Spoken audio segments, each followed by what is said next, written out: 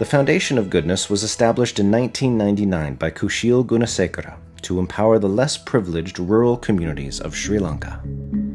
I originated from the village of Sinigama. I've always come back to my village and done whatever I can. 70% of Sri Lankans live in rural communities. In his home village of Sinigama in southern Sri Lanka, Kushil decided to turn his ancestral home into a place of giving. I was very fortunate to go to a premier school in Colombo and uh, have all the facilities and exposure. So my heart, you know, vowed one day that compassionately I'm going to do the same thing in this village. Then, on December 26, 2004, two tsunami waves created by a 9.0 earthquake 500 miles from the Sri Lankan shoreline swept upon Sri Lanka, killing 50,000 people, destroying 100,000 homes, and leaving 1.5 million people displaced. Fortunately, my villa did not perish. It was able to take on the onslaught and not collapse. Everyone came here looking for relief. This was like the operations command center. From the beginning of the recovery process, world famous Sri Lankan cricketer Muttiah Muralitharan, already a trustee with the Foundation of Goodness, gave immeasurable support as a humanitarian and a brand ambassador for the organization during this difficult time. It's amazing how worldwide uh, caring donors have come to rescue us. Through 30 improvement categories, including health, education, sports, women's enterprise, and elder care, these 30 sectors of empowerment have become the backbone of the Foundation of Goodness's success.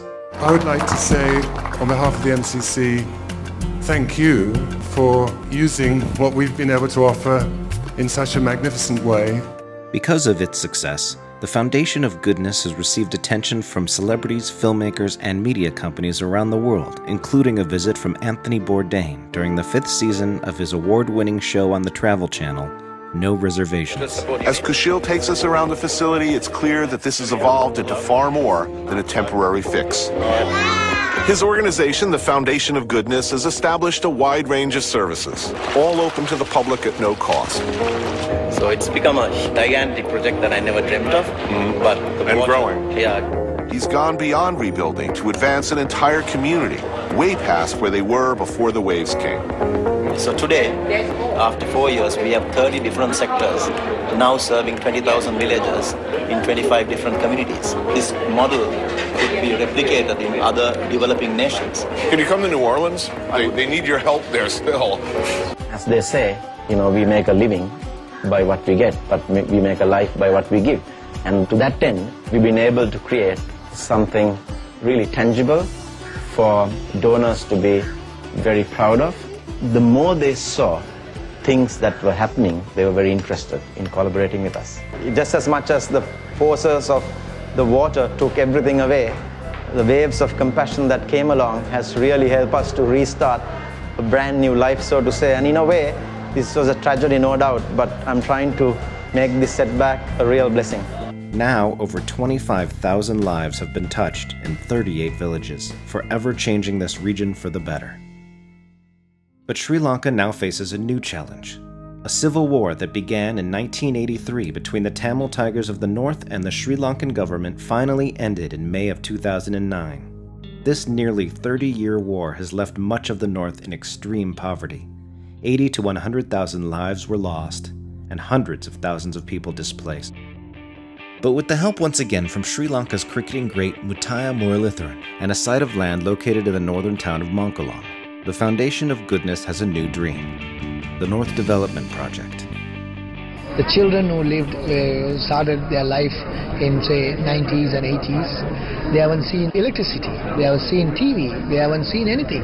We wanted to get the children out. Uh, out of their shell, so to say. You know, they have been seeing lots of fighting and um, gunfire, and that has been really traumatizing. Using the same model, same strategy, and same sectors of empowerment from its success in the South, the Foundation of Goodness has already begun to make a difference in those poverty stricken areas, delivering 760 essential school supply packs, 125 bicycles for transportation, kerosene lamps, mosquito nets, 100 essential housing supplies, and cricket equipment, including 100 bats and balls for students.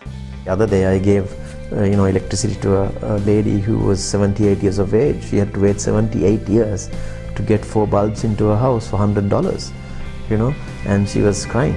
Because of the generous help from Murali and many others, the people of the North have started to put their lives back together. But in order to achieve long term self sustainable rural empowerment in the region and to build an infrastructure of enterprise, healthcare, sports, and education programs, we need your help.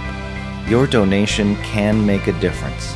The Foundation of Goodness projects that over 50,000 people of the North can benefit from these services. I think it's about awareness, and that's what we're here to, is to create awareness. You need to do something to tell people it's actually here. Come and have a look. Your donation can help make this dream a reality. From a very difficult time, which was so tragic, and for us to have been able to build it back better is more thrilling than anything that life can offer.